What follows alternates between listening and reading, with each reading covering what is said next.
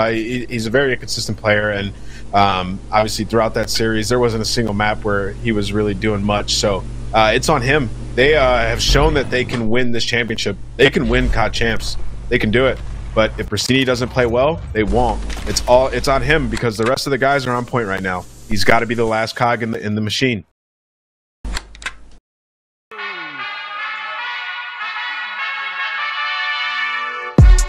They're trying to set up the pinch on the opposite side of Darcy's. It's I had to get my the twins up. trying to make the play three. Now go I down got for it like they gave it to me.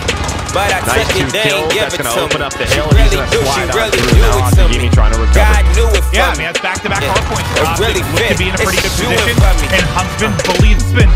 Make the play, they break through, they'll get the time, and now another I play rotation. See what they can do. for the Christine is Rolex. right now. Slash kills. Fucking the fountain And now the flank from saw gets him behind too. Lovely bit of work through the mid step. up.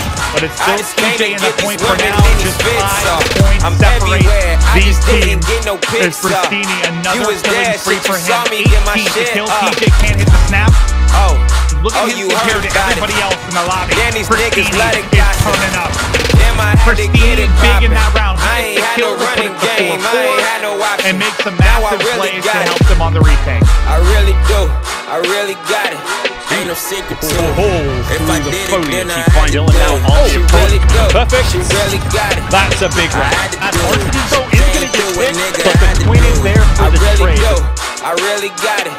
Ain't no secret to it. If I did it, then I had to do it. She really do. She really got it. Yeah, I had to do it. She came through. Damn, I